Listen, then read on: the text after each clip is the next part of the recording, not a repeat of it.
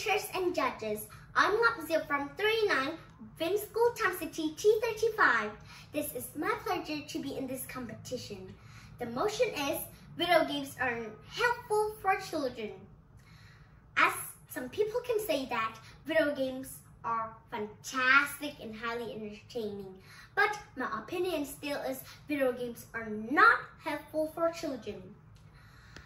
And I disagree with this opinion as it can have bad effect with the children's life and children's development.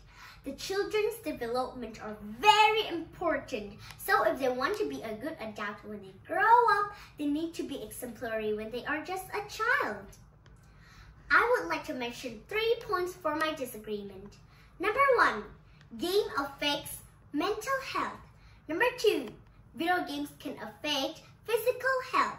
Last games can affect learning result.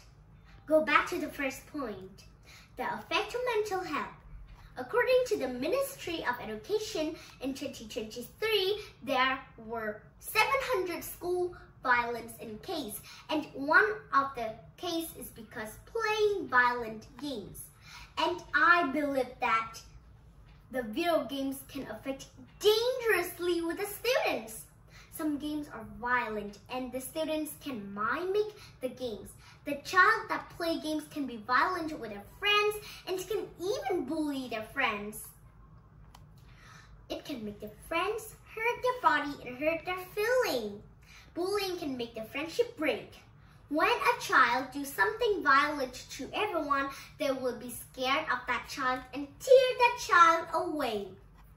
Secondly, to talk about physical health, make the children be nearsighted. Children that have beautiful eyes, but they look to the screen electronic device, but too much and not for long, they need to wear glasses.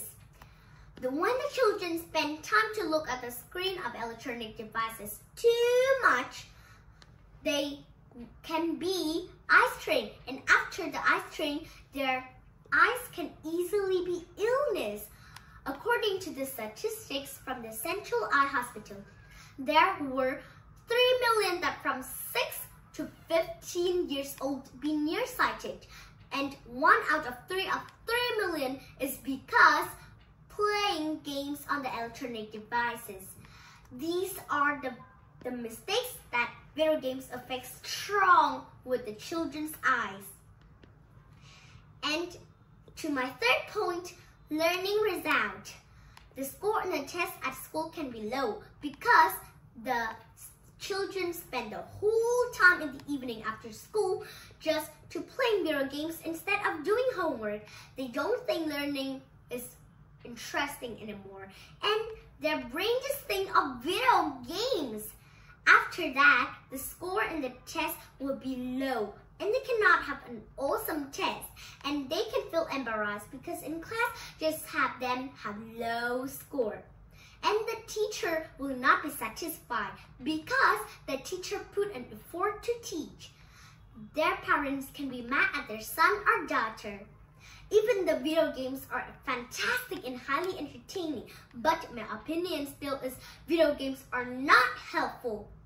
With all the problems of playing games as mentioned above, they are all completely bad. So, I recommend the children that they shouldn't play video games.